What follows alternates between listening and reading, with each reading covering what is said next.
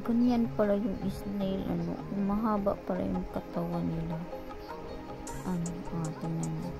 Tapos kung tayo yan umaakyat tayo sa pader na ganyan nahulog na tayo. Bakit sila uy? Kapit na kapit yung katawan nila. Tingnan mo. Tapos di ba mabigat yung shell hindi nahuhulog.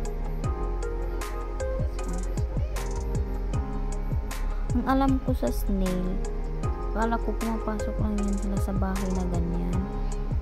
Yung parang naghanap lang sila ng ganyang shell tapos dyan lang sila tumitira. Yun pala, talagang maliit pa lang sila may ganyan na silang bahay. Yung since, ano, since born pa lang. Ano, pag lumalaki sila, lumalaki din yung shell nila tapos parang ano, tumitigas din yung shell nila kasi pag maliit pa sila, medyo maliit medyo malambot yung shell nila kaya ganun. Tingnan mo pang haba-haba ng ano yan sumo umata. Piling kumata kasi meron siyang ano. Yun tinan mo yung gilid. Nakapit na kapit na siya ng tulo ano nangyari yan? Ayan. Guys para sa mga bagong bagong video ko para ma-inform kayo pa-subscribe ako sa youtube ko guys.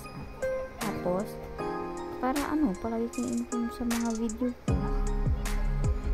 Maganda yung mga video ko guys. Panoorin niyo yung mga video ko. At yun mahaba-haba ng sungay. Sungay ba yun? Bakit parang maitim sa dulo? Parang siyang mata